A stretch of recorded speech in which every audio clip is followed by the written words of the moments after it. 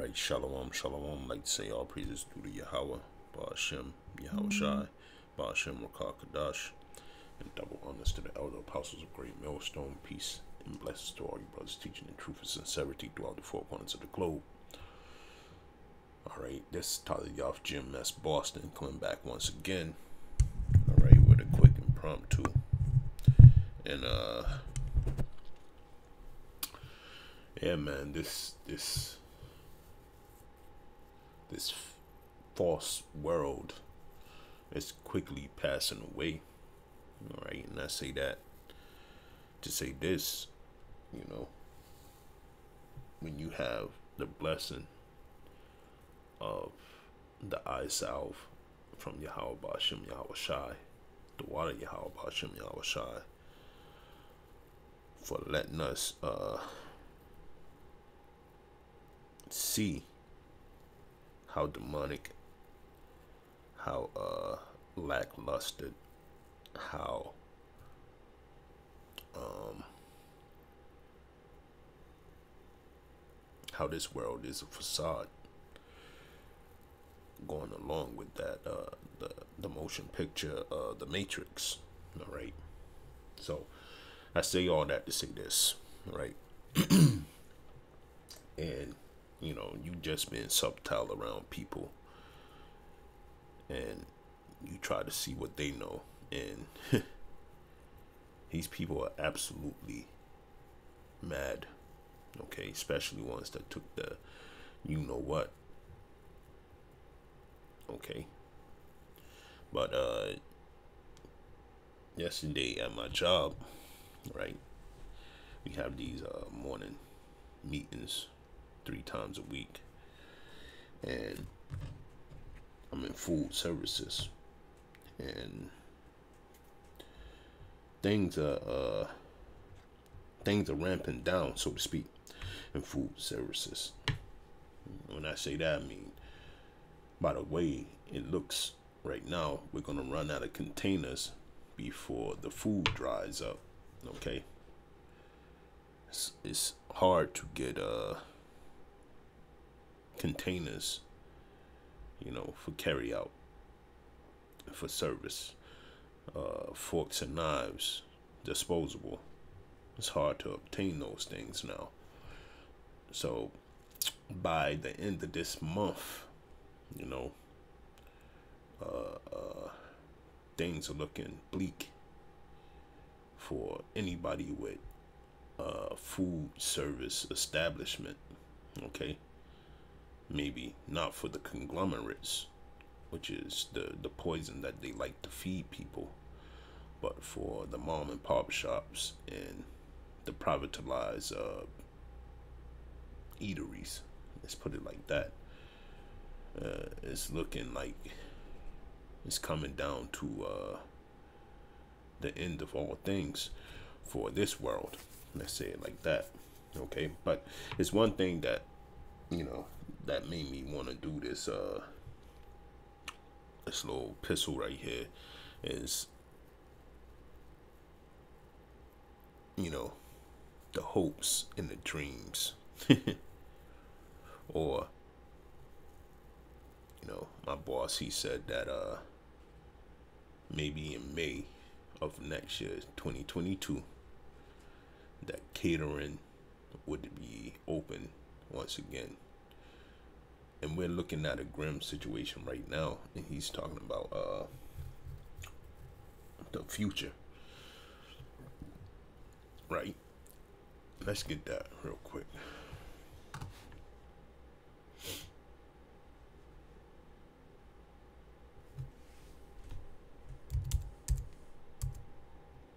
I wanna I wanna uh, go back to that.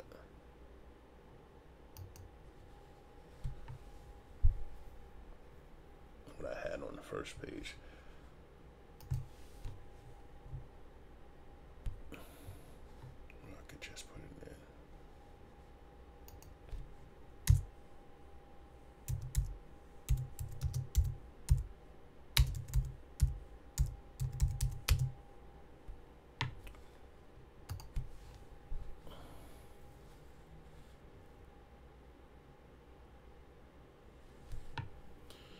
So him just you know saying that uh, a whole bunch of scriptures that's jumped into my head, and this is one of them right here. It says, "Take therefore no thought for the morrow, for the morrow shall take thought for the things of itself. Sufficient unto the day is the evil thereof." Right? Like I said, we we're facing a grim situation for for this side of the the uh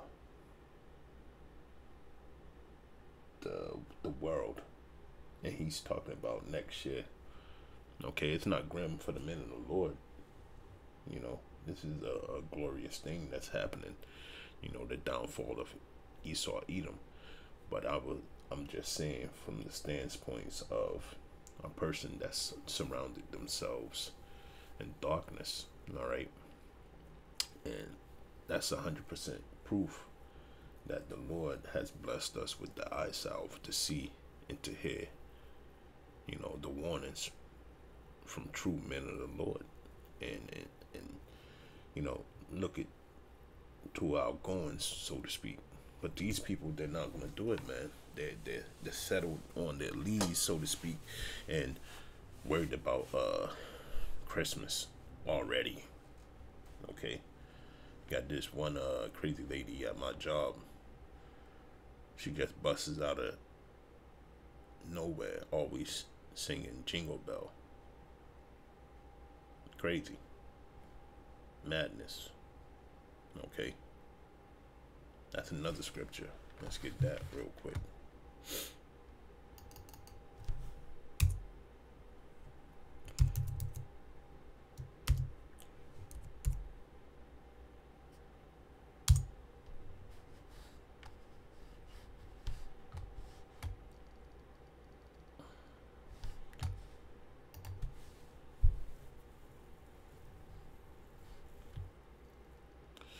Is Isaiah 60, chapter 60, right? And I'll start from 1. It said, Arise, shine, for the light is come, and the glory of the Lord is risen upon thee. Yes, this knowledge, wisdom, and understanding. That's for us, you know, the men that read the scriptures, men that uh, listen to the word of the Heavenly Father, men that fear the Heavenly Father, okay? Because I think that's that's the whole uh, uh, beginning of these people that's in darkness, man. They don't fear Yahweh Bashem Yahweh Shai. So since they don't fear Yahweh Bashem Yahweh Shai, great uh, uh, tribulations are about to befall them. Right? It says, For behold, the darkness shall cover the earth, and gross darkness the people, but the Lord shall arise upon thee, and his glory shall be seen upon thee. And these people at my at my job, so to speak, they know that I'm different from them. Okay. It's been told to me by several people, even the, the director of that building and I'm not uh, boasting or bragging, but these people know that it's something that they can't put their finger on because they're they're in uh, as the scriptures say, going down, they're in gross darkness. All right. And it says, And the Gentiles shall come to thy light, and kings to the brightness of thy rising. You know, and this it's only few and far in between people that come up to me and ask me or ponder upon something that was said to them. And they try to go over it with me you know? And um it's very few and far in between especially now okay?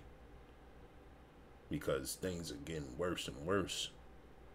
But it seems like I'm the one that sees worse and worse, but them they have hope in tomorrow for a better day in this kingdom, you know, so to speak. It's verse 4 Lift up thine eyes round about and see, all they gather themselves together, they come to thee. Thy son shall come far from far, and thy daughter shall be nursed at thy side. Okay. And that's that's what we're starting to uh, see. Okay. That these people on the internet, first and foremost, right? They're gonna start coming, and they're gonna start uh trying to join themselves onto us through the power and spirit of Yahweh Shem Shai. Right? Let's go ahead real quick.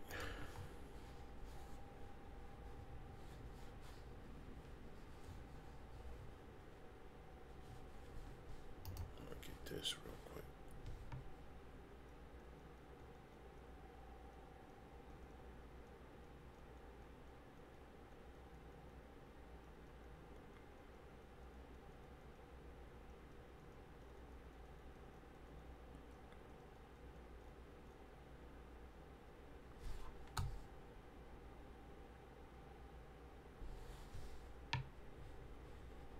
Let me uh where to start from.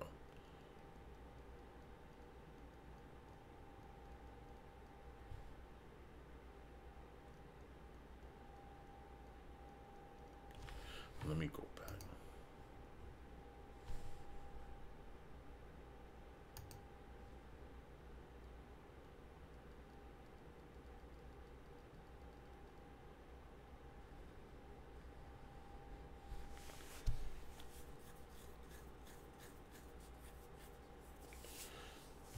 Because I want to go back to uh, verse 2 before I go on to the, uh, to verse uh, in chapter 61 Salaki. It says, For behold, the darkness shall cover the earth, and gross darkness the people. Right? And so I just want to make that be known that those people are covered in gross darkness. All right? The ones that's wishing for a better tomorrow. It's not going to happen. All right? It's not coming. And I want to go back to, uh, let's see right here in Isaiah 32. It says, Rise up, ye women that are at ease, hear my voice, ye careless daughters, give ear unto my speech. Now, like I said, the lady that likes to sing jingle bells, right? And I'm kind of like all over the place. All right. She does that because of that that gross darkness that's upon her. Now, during that that uh, morning meeting, when the boss said that it's going to be harder for us to get things, hopefully it gets better by the uh, spring of next year, right? And I'm sitting there with a with a with a look on my face that everybody knows, you know I'm saying that it's all right with me, you know. I don't care. But uh for this for this lady, right? She doesn't she she doesn't understand that the supply chain is broken. She doesn't understand that there is no longshoremen out there on the west coast. So they're putting it. But she doesn't understand that this is the collapse of America the Great or Babylon the Great, Salaki. she doesn't understand that. So for that, I'm going to read Isaiah 32 and 11. It says, Tremble ye women that are at ease, be troubled ye careless ones, strip you and make you bear and gird sackcloth upon your loins. Right? And it's going to be a multitude of women, right? That's going to get caught out there in the same spot where this lady is at my job. Not believing, no, that's not gonna happen. You know, even even family members, they still shopping on a on a weekly. You know, uh, uh, how can you say it? Like weekly goods and services, bringing them to the house weekly You know, and I had to explain to one person in my family that's got to stop. You gotta, you gotta uh, prepare yourself for what's about to happen because soon as possible, the the food price is going to jump out of the out of the roof. Okay. So it's not going to be any more uh, nickel and dime buying like that. It's going to be bulk buying. You know, you're gonna have to buy in bulk, so you you won't have to take a trip to the store in that time of trouble, man. Okay. You know, and that person, you know, very well knows about the word the Heavenly Father and you know, uh, uh repenting and doing as the scriptures say to do when you're supposed to be doing it. Okay. But that just goes to show you the mind of a woman. Okay, she's always at ease. So it's going to have to take some type of uh, embarrassment or uh, tragedy or turmoil to wake up her out of her fantasy land. And that's what you're about to see. All right, a lot of you uh, Israelites that's of the female uh, uh, gender, okay? Because it's not stopping, and then in the end, you know, you're gonna come come a running, so to speak. But that's neither here nor there. I'm just saying that you can see the gross darkness on all these people faces, males and females, but females are going to have it much, much worse because of the comfortability that they like, right? Supply chains broken. No more clothes, no more food, no more goods. Okay? Which I mean, like soap, uh, hair, you know, hair products, and a litany of things, medicines, simple medicines like alcohol, uh, uh, lotion, you know, simple stuff, you know, that people think nothing about right now, but when those things disappear, oh, it's going to be hell to pay. you know, your sanitary napkins, so to speak. You know, the scriptures about that.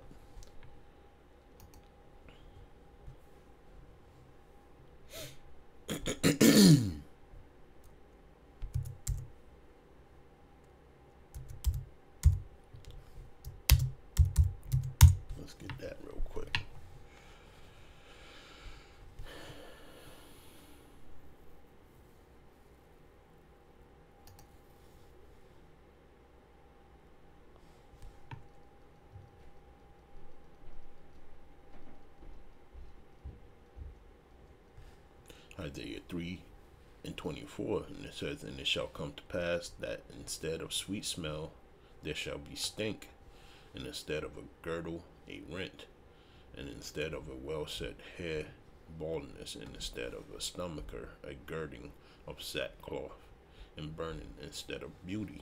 All right, and that's what's coming to, to uh, women. Okay, here in Babylon the Great, after this uh, supply chain breaks down. All right. Contrary to popular belief. All right. Let's go here. Let's go back to uh, Isaiah 61, right?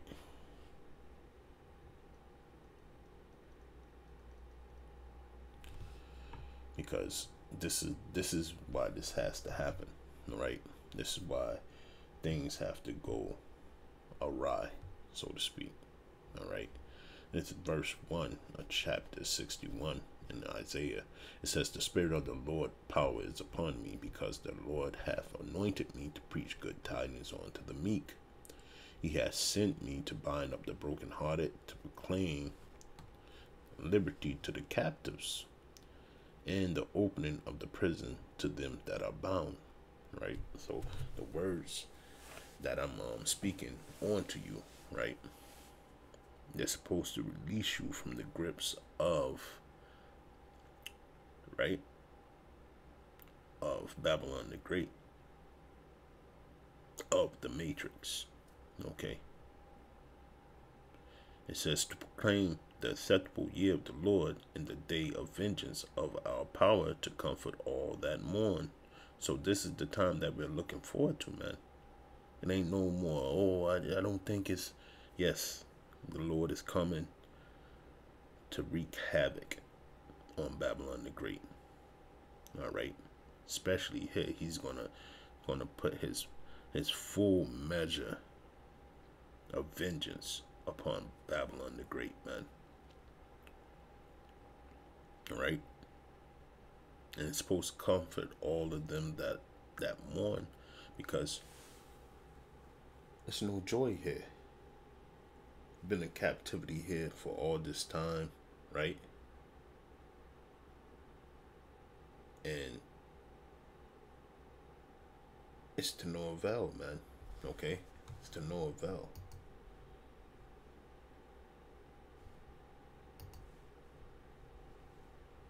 Right? It's to no avail. And it's gruesome. It's gruesome. So this is why we are to push the word of the Heavenly Father in such a manner. Alright? To make sure that Salaki to make sure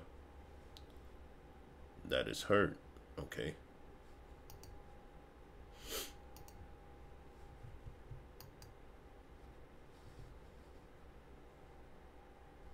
If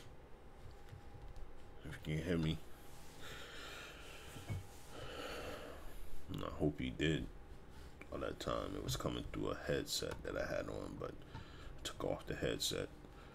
But yeah, this is why we proclaim the the truth. All right, because the spirit of the Lord is on us to do it. All right. So that you can accept it, hold on to it, and don't turn back from it. All right. Verse 3 To appoint unto them that mourn in Zion, to give unto them beauty for ashes, Slaki, the oil of joy for mourning, the garment of praises for the spirit of heaviness. Okay? That they might be called trees of righteousness, the planting of the Lord, that he might be glorified. Okay? And that's why we do it, man. No more to think after Esau, Edom, but to think after the ways of Yahweh Bashem Yahushai. And Zion wants the destruction, all right? The elect of Zion wants the destruction to come, all right? And that's the bottom line. So I just wanted to put that out, man. It's no looking for a better day tomorrow because it's not going to come. This place is done. The Lord is putting the kibosh on it, and it's just going to get worse from here on out. Okay? For you women, for the nation of Israel, okay? Your job is not to be at ease anymore, all right?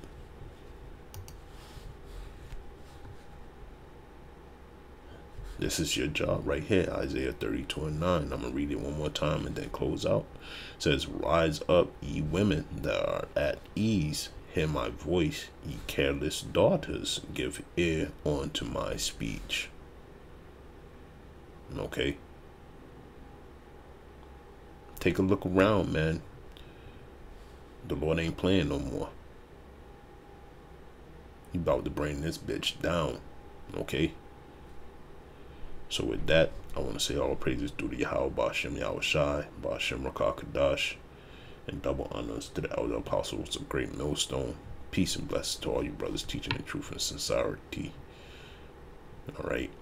Abad Babal, Kwam Yasharala, and Shalom.